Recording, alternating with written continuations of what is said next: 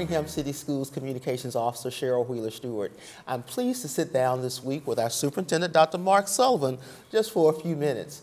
Now, Dr. Sullivan, the first three weeks of school have been busy. It's still busy. What's going on? Well, I'll tell you, Cheryl, learning is happening every day in Birmingham City Schools.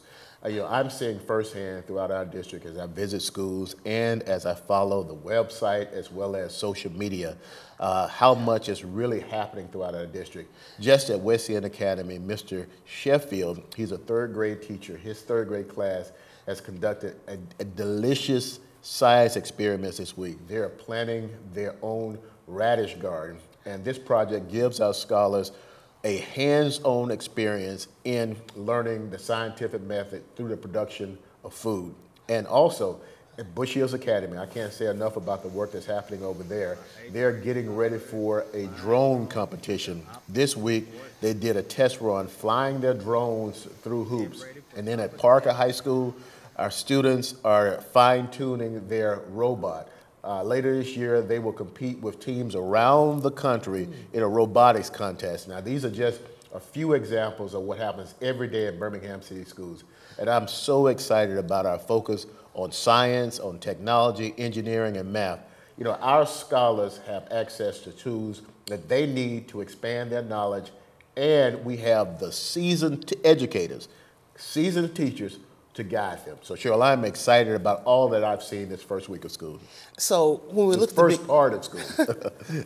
so when we look at the big picture, what's the impact of the exposure to this hands-on learning, especially with the math and sciences? Well, I tell you, uh, Cheryl, you know, I was a math teacher, and what I know is that students can often grasp concepts uh, and processes better when they have a visual application uh, in their lessons. And so they, you know, students learn by doing. And so our students take tests in class, they take state and national exams uh, to help gauge their academic progress. And as we provide increasing opportunities for hands-on learning, we hope to see that our students will retain knowledge so that, um, that they'll improve, their uh, uh, improve on their regular assessment. So we're just excited about students having an opportunity to manipulate things so that they can learn more. So speaking of assessments, the state recently shared a full report from the spring test. What did this report show for Birmingham students? So again, Cheryl, I am extremely proud of the work that has happened in the school district around third grade literacy. So, you know, in third grade, uh, we saw a growth of 28 percentage points in our third grade reading over the previous year, and our second graders saw a 15% percentage growth you know, this is significant because our second graders from this past spring are now in the third grade. And the Literacy Act requires that all third graders read on grade level or those students may be retained. So we have 70% of our second graders on grade level. So we look to have an even larger percentage of students reading on grade level by the time they complete third grade in the spring. Our primary teachers, that means our kindergarten, first, second grade teachers throughout the year are doing an amazing job in helping to build the foundation for learning for all of our students. So this shows that every day of learning is really important, would you say?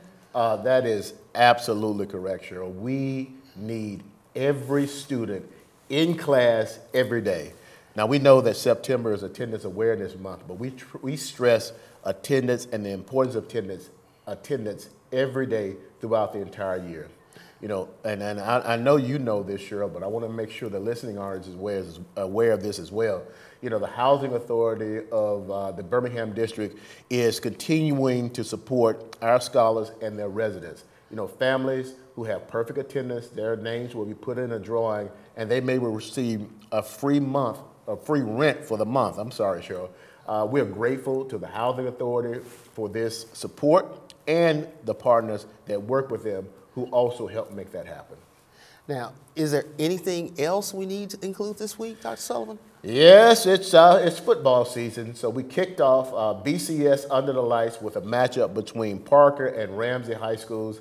Uh, it is our second annual Stop the Violence Classic, and I'm so proud of our scholar athletes who use their platform to address a very serious community issue And they, I am so grateful to the partners who work with them, who provide the support and the resources for our scholars and their families. So I'm really excited about the work that's happening in Birmingham, the work that's happening on the fields, the work that's happening in the classroom, and the work that's happening throughout our district. Birmingham City Schools, success starts here.